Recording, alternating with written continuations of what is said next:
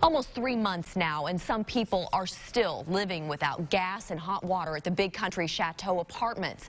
But one man tells our Rochelle Turner he wanted to make sure others enjoy a hot Thanksgiving meal when they can't cook one on their own. Rochelle? Well, Ashley, good afternoon to you. Michael Ford says with all of the problems people have been dealing with at the complex, he just wanted to let them know they're not alone. Ford has gas at his apartment, but no hot water. He says today was all about coming together, eating food, and just having a good time.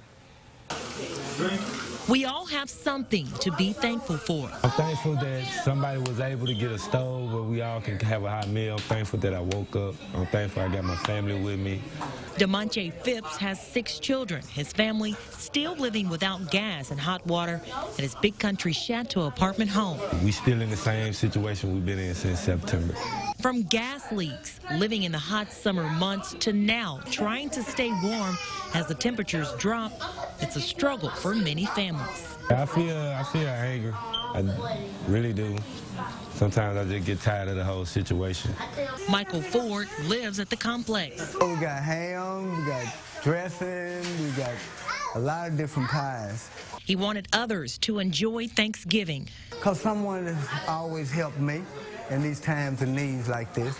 So I'm grateful to help people. Yeah, I'm very thankful for that. Uh, you know, Michael is really my father-in-law, so we always be over here anyway. So that's just like it's family. So we just we thankful. Even though they are thankful to have a roof over their head, Phipps and several others are just hoping the gas will be turned on back soon. Yeah, I can't wait for it to be over because anytime longer I might just go ahead and move. Now, Ford says he will serve others at the complex all this evening as far as the gas situation. The property attorneys will be back in court on December 16th. Back to you. All right, thanks for the update, Rochelle.